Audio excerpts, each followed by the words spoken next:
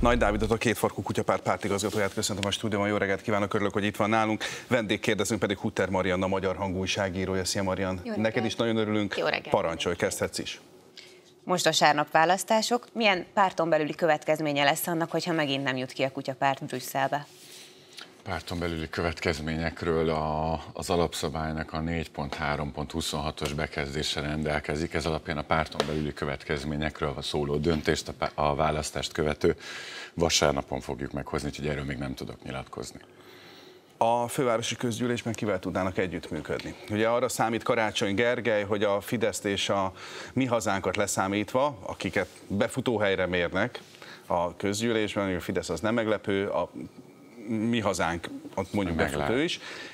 Rajtuk kívül vannak elegen, vagy lesznek elegen a közgyűlésben, akik tudják biztosítani a város működtetéséhez szükséges többséget. Ebbe viszont akkor ilyen formán ő beleérti nyilván az ő támogató pártszövetséget, beleérti önöket is, illetve beleérti az LMP-t is, amely Vitézi Dávidot támogatja, valamint Magyar Péternek a Tisza pártját is. Szóval hogy néz ki ez a képlet? Én szerintem vannak olyan ügyek, amik, aminek a mentén muszáj együttműködnie, mondjuk egy költségvetés megalkotása, ilyen egy új szociális rendelet megalkotása, bármilyen gazdálkodással kapcsolatos kérdés. Én szerintem mindenben tudunk partnerek lenni, gyakorlatilag bárkivel, ha olyan rendeleteket hoz, amilyeneket. Most csak egy példát hadd emeljek ki. Itt azért több párt most azzal kampány a saját listája mellett, hogy itt most lesz átvilágítás, nem tudom, lesz elszámoltatás. Ezek a pártok öt éve ott vannak a fővárosi közgyűlésben, és ezt az átvilágítást nem tették meg. Én azt tudom, hogy a Gergő, a Szuzi vagy a Kriszta személye, akár az enyém, garancia arra, hogy mi tényleg át fogunk világítani egy BKK-t, egy BKV-t, át tudjuk nézni ezeket a cégeket, hatékonyabbá tudjuk őket tenni. Szóval tökre nem mindegy, hogy ki fog beülni a közgyűlésbe, azt viszont el tudom mondani, hogy ügyek mentén gyakorlatilag bárkivel tudunk együttműködni. De mondjuk Baranyi Krisztina is öt éve ott van a közgyűlésben, tehát hogy mit hiányolt az ő munkájából? A Krisztina polgármesterként ült ott a közgyűlésben, független polgármesterként, én most kifejezetten azokra gondolok, akiknek önálló frakciójuk volt, és nem tették meg. És csak azért mondjuk, hogy nem biztos, hogy nézők tudják, Baranyi Krisztina az önök lista vezetője. Ez így van. A, a legjobb lista vezető. Zárójelbe záró magam részéről. Tehát nyugodtan nem közbeszólni akartam, csak egy azt elárulja, hogy ön személyesen Vitézi Dávidra vagy Karácsony Gergelyre fogja szavazni? Azt tudom, hogy a párt nem nevezett meg olyat, akit támogatna, de én például láttam, hogy ön többször volt egy rendezvényen Vitézi Dáviddal. Ez, ez több, több, több szempontból tudom csak kibontani. Egyrészt én most jelenleg a gyerekek meg szociális okok miatt én Pómázon lakom, ott tudtunk megengedni magunknak házat, úgyhogy szerencsére nem kell ebben döntést hoznom. A Dávid azért keveredik is sokat Újpestre, mert vállalja ezeket a felkéréseket. Tehát, hogyha nem tudom, írok egy e-mailt a Karácsonynak, írok egyet a Szentkirályi Alexandrának, és egyet a Dávidnak, akkor a Dávid valószínűleg reagál, a Gergő is reagál, hogy nem tud jönni, nyilván az ő kezét kötik bizonyos politikai alkuk, az Alexandra meg sajnos sajnos nem reagál, majd egyszer megpróbál kitalálni egy módszert, hogy hogy lehet belőle reakciót kikényszeríteni. Ő, ugye gyakorlatilag a Dávid egy kerekasztal beszélgetésünkre jött el, illetve amikor ment körbe Budapesten, akkor csináltunk egy közös mobil zebra akciót, tök megoszlik a pártnak a véleménye arról, hogy kire kell szavazni. Nekem szerencsére nem kell döntenem, és örülök is, hogy nem kell döntenem, azért ez egy nehéz kérdés. Annak örülök, hogy, hogy végre lett verseny. Tehát most egy karácsony szentkirályi verseny, azt tudjuk, hogy néznek ki most azért a Gergőnek meg kell dolgozni azért a polgármesteri címért. A kétfarkú kutyapárt, most maradjunk még itt a fővárosban. Igazából a politikai palettán, és most itt nem arra gondolok egyébként, hogy valamilyen fajta öndefiníció alapján meghatározzák saját magukat, hanem a különböző együttmozgásokban más politikai szervezetekkel hogyan tudja meghatározni magát. Ugye emlékezetes a 12. kerület, ott az önök pártelnöke egy előválasztáson torony magasan nyert, de ott már azért az megelőző alkú is volt, hogy amennyiben ő nyer, akkor mely egyéb pártok a kerületben hanyadik helyeket kapnak, milyen eséllyel képviseltetik majd magukat a kerületi képviselőtestületben. Tehát ott van ilyen fajta együttműködés. Most azt látjuk, hogy a főváros, a nagyfőváros tekintetében ott nincsen együttműködés, mert ott másféle konstellációk vannak. Ezek a dolgok... Ezek Mindig nem... is önállóan indultunk minden választáson. Ez az előválasztás után is így történik. Hát ez világos, egyetlen... csak ettől függetlenül ott bizonyos megállapodások voltak a háttérben. Aztán volt azzal kapcsolatban, hogy, hogy a bal oldalról ott akkor ennek szembe mentek, borították, nem borították, látjuk ezeket a dolgokat, de ettől függetlenül volt egyeztetés és volt közös Világos. Munka. Én ezzel vitatkoznék, hogy a háttérben az egészen biztos, hogy én is, amikor polgármester leszek június 9-én, akkor én például úgy szeretném szeretném kiválasztani az alpolgármestereimet, hogy összehívunk egy kerekasztalt a Népszigetre,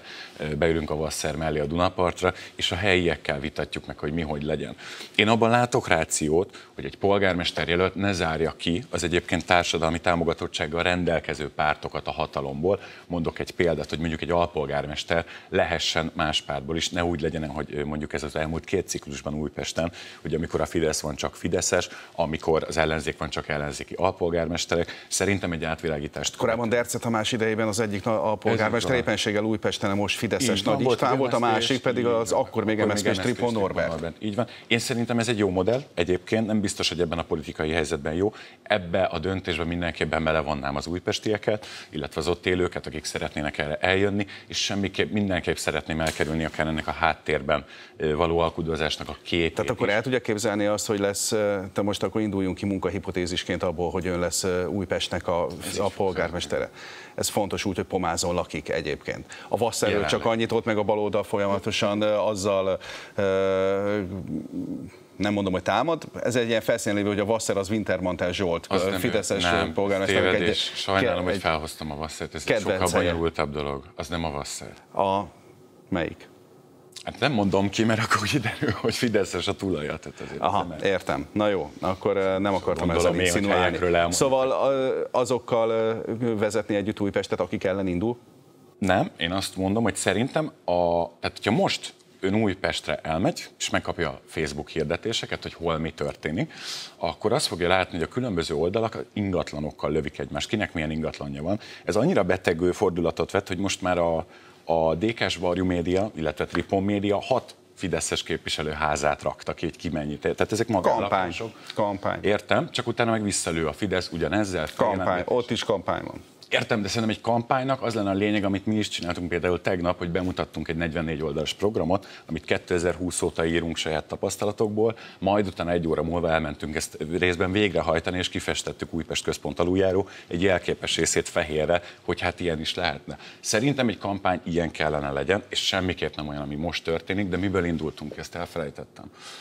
Nem, az, hogy azokkal a működne együtt a városvezetésben, akik nem ellen azokkal? Nem, nem, mindenképp friss arcokkal, mondok két példát, én Modrocki Kittivel, vagy akár Drabant Fruzsinával nagyon szívesen leülnék úgy, hogy ez egy nyilvános Facebookon közvetített ülés, ahol mindenképpen elkerüljük a háttéralkuknak a...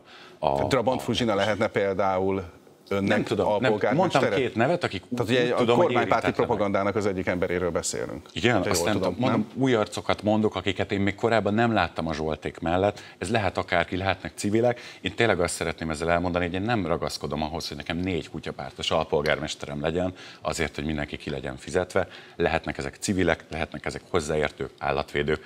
Tök mindegy, annyit szerettem volna ezzel mondani, hogy senkit nem szeretnék azért elküldeni, mert más pártot képvisel a hatalom közeléből, mert az lesz, ami most van Újpesten évek óta. Egy végtelen. Én csata. mennék egy kicsit az EP irányába, de hogyha még maradnátok a témánál, akkor zárjuk nem, nem, nem, keretesre nem, nem. le. Bőv, bővítsük a spektrumot. Kérlek, majd, EP majd a adás után lejátszuk. Hmm.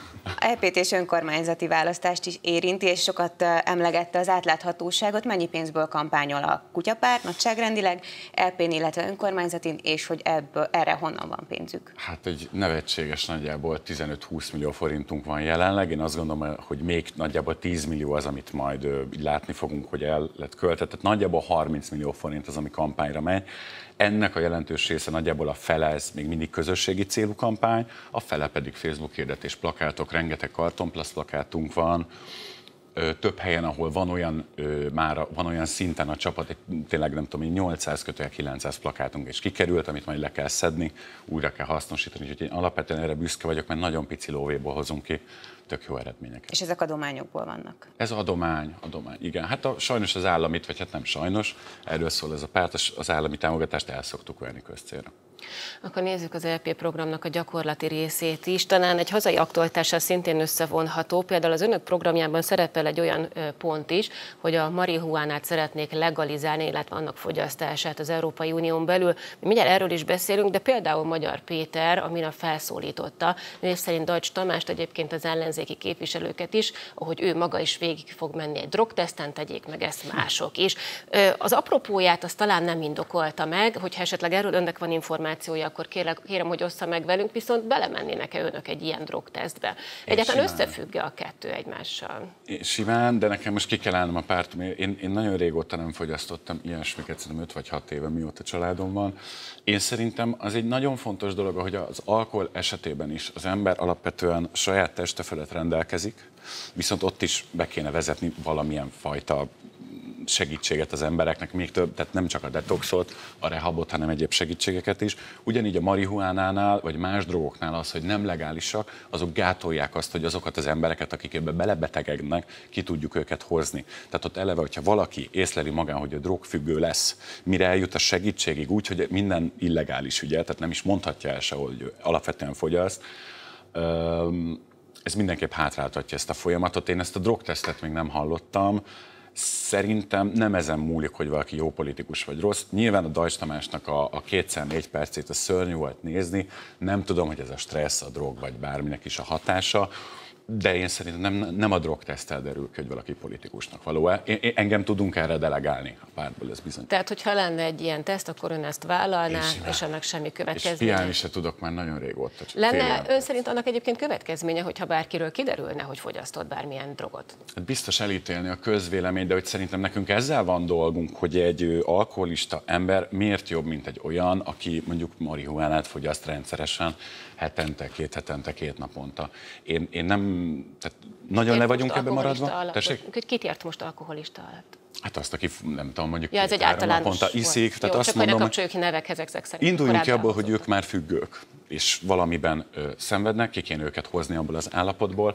Én nem hiszem, hogy aki marihuánát fogyaszt, az annyival rosszabbul. Ez hogy illeszthető össze egyébként az Európai Unió többi tagországának jogi és kulturális hozzáállásával, politikájával, mert hogy nagyon eltérőek, és viszonylag kevesebb az aránya annak, akiket szintén legalizálnánk. Igen, de egyre több ennek is az arány, és mondom, azért itthon is fennállnak olyan anomáliák, hogy itt például ugye a Gergő el lett ezzel kapva, elküldték egy 24 alkalmas elterelés, amit végezhet online. Ez azt jelenti, hogy 24-szer el kell küldenie ugyanazt az e-mailt. Ezek után azt fogják mondani, hogy el van terelve. Ugye itt egy méregfogat húztak ki a rendszerből, régen egy elterelés úgy nézett ki a haverjaim beszámolója szerint, hogy ott szerezted a legjobb kontaktokat.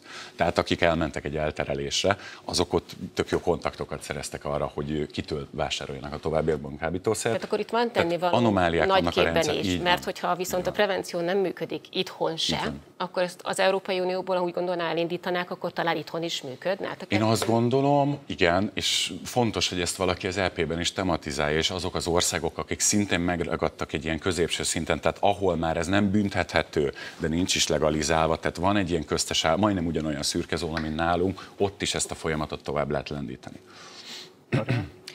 ha már szóba került Magyar Péter, Magyar Péter azt is mondja, hogy a kispártokra adott szavazatok elveszett szavazatok, és igazából emiatt sajnos a Fidesz fogják erősíteni, úgyhogy nyilván nagypártokra érdemes szavazni. Ön mit szól ehhez, és mi a válasz erre a felvetésre? Én 17-ben érettségiztem, akkor jöttem a kutyapárt az először önkéntesnek, és én azóta ebben élek. Én nagyon unom, szerintem a választók is nagyon unják, és tényleg mindenkinek adta a kamera, azt tudom üzenni, hogy aki már legalább egyszer megbánta, hogy nem ránk szavazott, az most szavazzon ránk, hogy ne bánja meg többször, hogy nem ránk szavazott. Ez a kis pártocska, lép, ez a lépjen vissza, ne induljon, izé, ezt, ezt felejtsük már el, mert így, ha valahogy, akkor így nem lesz vége az Orbán rendszernek ezzel a logikával. Én erről ezt gondolom. És olyan embereket küldünk az EP-be, amilyet más Isten nem találnak meg. Tehát akár Becker Andrásnak az oknyomozó újságírói múltja, akár Törlei Kata Azért nem esélyes, hogy ők kijutnának. Tessék? Azért nem esélyes, hogy ők kijutnának. Ugye ez, ez nyilvánvaló, de az, hogy ők ott vannak a stábban, ők tudnak velünk dolgozni, a, tovább, a következő öt évben is, ez egy baromi nagy előny olyan pártokhoz képest, akik, akik jól bejáratott kádereket, vagy olyan arcokat indítanak el, akit egy hónapja ismernek. Tehát ahogy az EP, ugye a BP listán egy nagyon-nagyon fontos szempont volt, hogy mi ezeket az embereket ismerjük, legyen egy civil múltjuk, legyen egy civil munkásságuk, és legyen egy magas munkabírás. Legyünk optimisták, mondjuk kijutnak. Akkor azért azt látjuk, Ezt kellett volna mondanom, mert politikus vagyok Tehát a hét embert küldünk az LP-ben. Igen, hát ez, ez az abszolút optimista hozzáállás. Szóval, hogyha ők kijutnak, akkor viszont azt látjuk például a belga külügyminiszter nyilatkozat alapján is, hogy óriási átalakulást terveznek most az Európai Parlamenten belül is. Egyrészt lesz egy soros elnökség váltás is, amiben egyébként Magyarország kiemelkedő szerephez fog most jutni, ő lesz a soros elnök.